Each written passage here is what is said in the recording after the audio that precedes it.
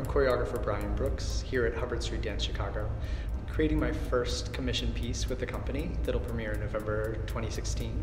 Um, very pleased that it's my first piece also as the choreographer in residence with the Harris Theater. My choreography really begins and relies heavily on movement research. My, my creative process in making a dance is very back and forth with the dancers that I'm working with. Ultimately, I go for something heavily stylized and specific. So we're, we're getting into a form and an aesthetic with each work that has something definitive about it, right? The shape is definitive. And then a few days in, I asked to for translation. So I open I I open it to all the dancers and I let them start um, responding. So they reconstruct the material they've been given. So they can resequence the events, um, find new connections because they're resequenced. That's been a large part of the first uh, two weeks here at Hubbard Street. Has been really setting something in motion, almost like tipping that first domino, and then watching all the progressive dominoes fall in line. And very interested in kind of a,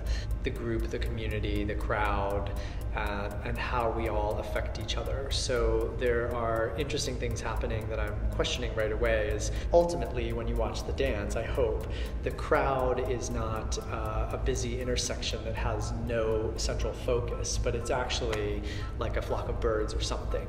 There's a, transformation and an evolution in the piece um, that I'm imagining and that I'm seeing in the studio. So again, a larger kind of reading of the cause and effect. One thing leads to another. So we're, we're, moving forward. You know, one thing's affecting another and it's changing and altering it, and we end up somewhere where we didn't begin. So just the simple idea of the progressive arc. Um, and with the changing season as we move from summer into fall, I think that, of course, will be um, just kind of personally influencing my decisions. That's actually where the dance for me really lives. It's in that open ended question and the infinite possibilities in which it can go. And then in exploring many of those possibilities, of course, we land on handfuls and handfuls of, of possibilities and of answers that, that are beautiful, that are touching, that are moving, that are scary, that are abrupt, that are engaging.